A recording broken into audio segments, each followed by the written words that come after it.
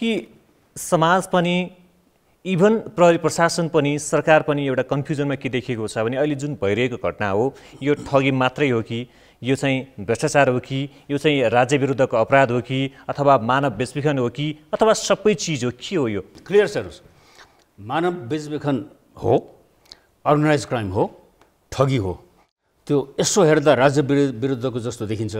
तर के भने तपाईँको तख्ता पल्टाउने किसिमको आर्म्ड ग्याङले गभर्मेन्टलाई पल्टाउने किसिमकोपट्टि त्यो जान्छ। हामी लेमानले बुझ्दा चाहिँ नि जस्तो देखिन्छ। तर तिनवटा ठगी अनि यसमा कृति पनि लागु हुन्छ त्यो। सरकारी कागजात कृति। कृति पनि लागु छ कि त्यो फे- फेरिएको छ नि? यो चाहिँ यो यो क्रिमिनल केस हो यो। यो यसलाई तपाईँको राम्रो प्रसिक्युसन आवश्यकता छ।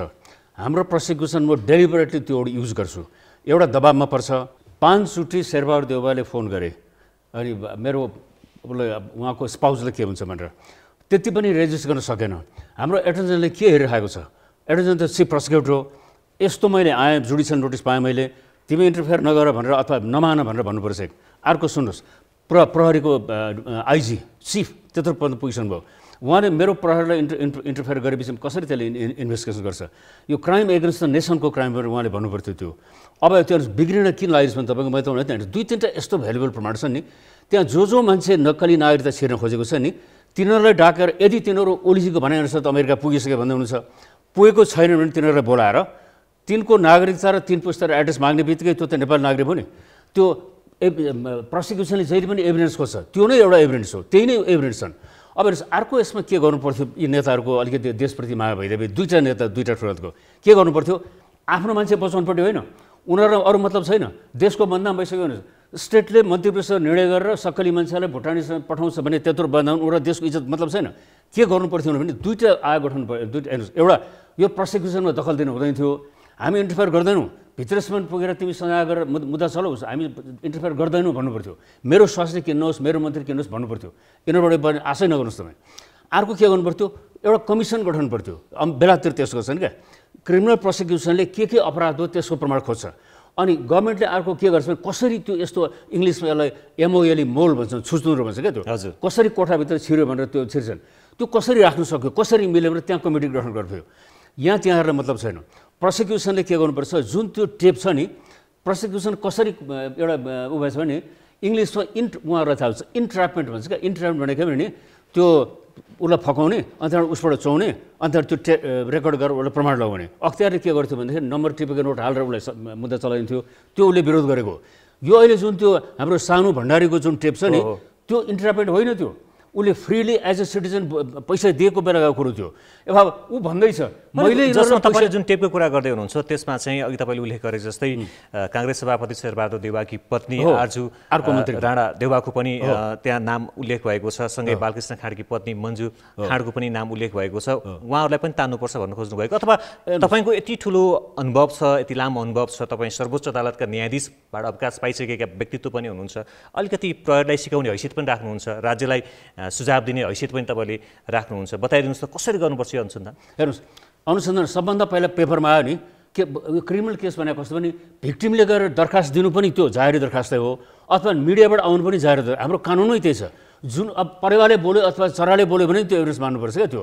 अब मरेको मान्छेको विरुद्ध एउटा भनौँ न बिआरसी पार्टीमा बस्ने मान्छे छ त्यसको कसले दरखास्त दिने? अनि पुलिस हेरेर नि जस्तो हाम्रो पूर्व सभामुखको रेप रेप त्यसरी बिग्रियो होइन पुलिसले के भन्यो दरखास्तै पर्दैन कसरी समात्नु भन्छ? तिन दिन बितिसक्यो। त्यही फरेन्सिक फरेन्सिक साइन्स गएर फुत्केको नि त्यो अब यो केसमा नि एउटा इन्भेस्टिगेसनमा लिड हुन्छ। अब हाम्रो म उहाँलाई रेस्पेक्ट गर्छु। केपी ओलीजी प्रधानमन्त्री रेस्पेक्ट गर्छ। उहाँ पनि एउटा पोटेन्सियल एभिडेन्स हो। उहाँले पोलिटिकलाइज गरेर के भन्छ संसद बोल्छु भन्नु बेर छ उहाँलाई त सबै थाहा रहेछ नि त। त्यो कुरो त उहाँले पुलिसलाई कोअपरेट गर्छु भन्नु पर्थ्यो नि त। अब तपाईँले भनेको कुरोमा आउनुहोस्। दरखास्त परिसकेपछि नोटिस आइसकेपछि सबभन्दा पहिला कन्सर्न मान्छेलाई बोलाउने हो। उनीहरूको स्टेटमेन्ट रेकर्ड गर्नुपर्छ।